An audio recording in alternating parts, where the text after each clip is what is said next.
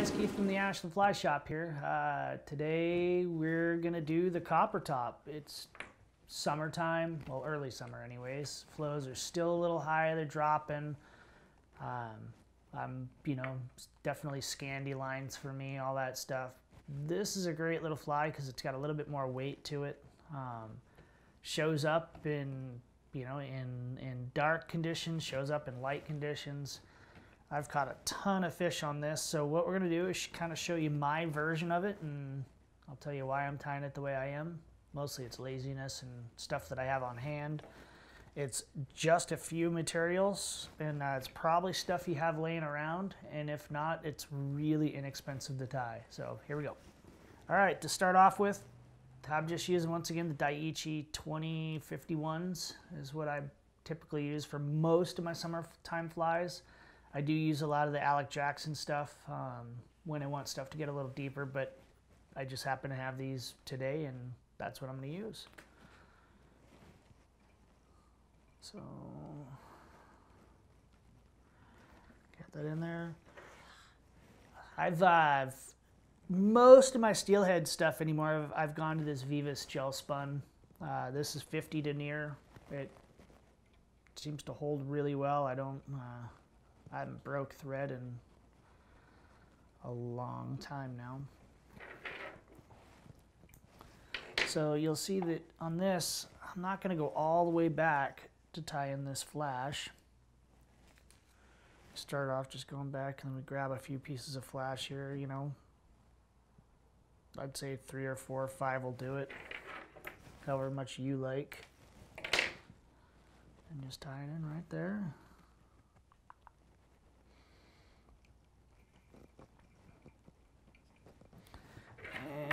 Just gonna go right about there, that'll do.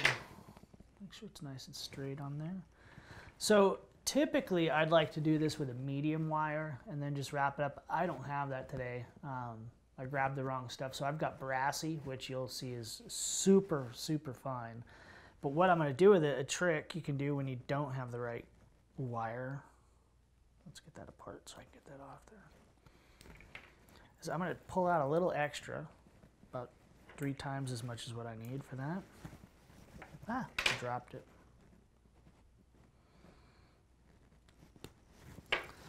see if I can find it. There it is. And then I'm to straighten it out. And I'm to take and fold it over. I'm to fold it in four pieces here. Because this is so thin. Just like that. And then I'm going to tie it in. Let's see, that. My eyes are getting bad, even with glasses on.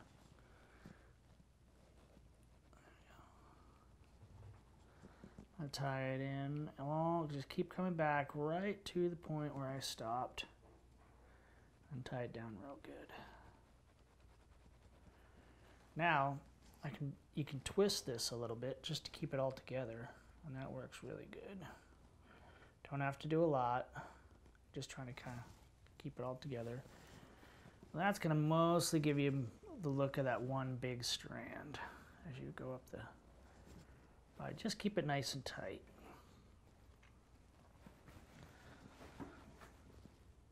You know, if you've seen me tie flies before, I don't really get too uh, too wrapped up in making things exactly like the last one. I don't think the fish care too much. So this being brassy or being medium wire, I don't think it matters as long as you get enough of it on there to cover the shank and get that little bit of weight. So what I also like to do is now I've still got this extra here. So what I'm going to do is just make a big ball of it right here.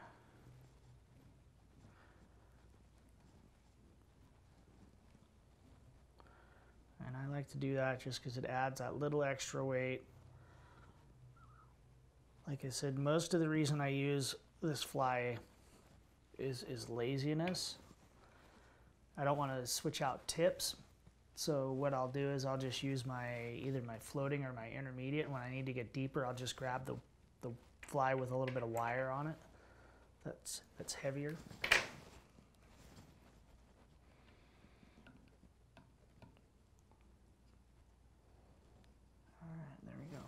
Now, the original of this had some sort of chenille, I think, right here for, uh, for that kind of big body part. I don't have any black chenille, but I have ostrich. And I like the way it looks anyways because it kind of fluffs out. So I'm gonna grab a bunch of this. I'm gonna cut it off. Leaving my tips out. I'm Just gonna tie it in just like that.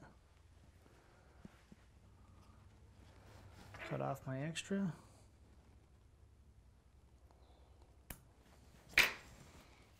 a little bit better there. And then this kind of comes becomes my dubbing ball too, so I'm just gonna grab them all together, spin them, just make a nice cover all that up. And this is where I'm going to differ a little bit from the original. You know, it wouldn't have done that. You would just cut off your chenille and it all would have went away. But I like all of that ostrich on there and I don't think it's going to hurt it. So I'm just going to fold it back and tie it down.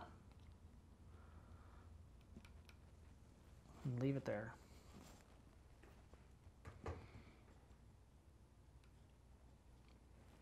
Just like that. A little bit of schlappen. This is not the best looking schlappen, but it doesn't matter once again because it's just a fly that you're going to go throw in the water and try and get a fish to eat, right? So separating it a little bit there just to get a nice tie in.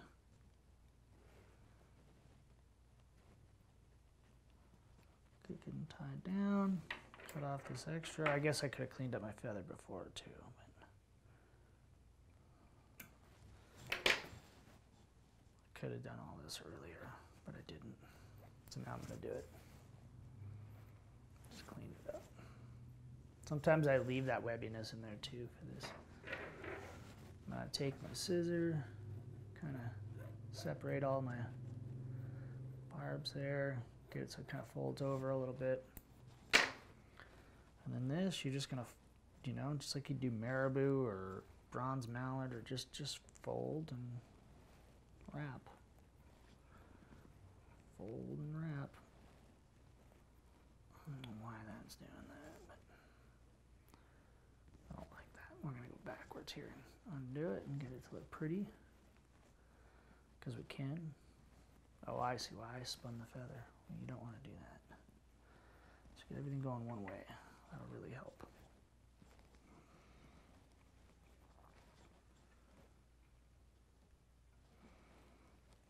There we go. Now we're getting there. Try to keep from wrapping over the top of the last pieces of feather there. One more.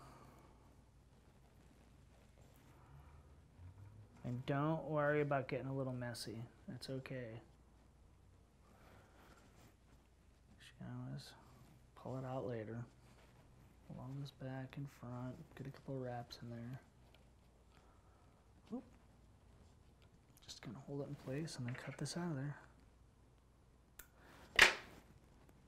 Now go in there and look and see if uh, see if you got anything kind of wrapped. It's like that one right there unwrap it, hold that back, start to create a nice little head.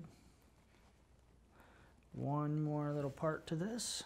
Grab our crystal flash again. Let's cut that nice and even.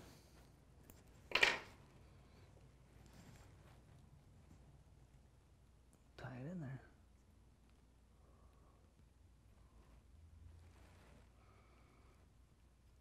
Nice and tight.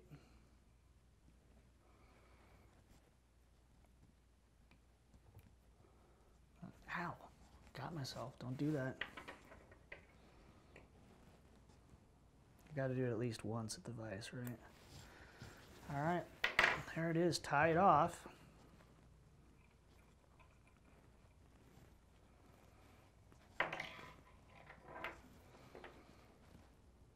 Can do half hitches. You can do you can whip finish it. You can do whatever you want really right there. But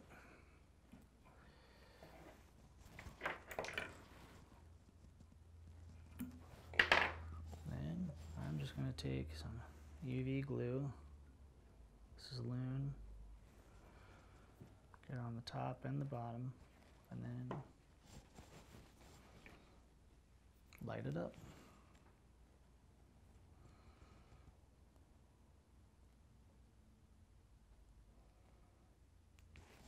You go.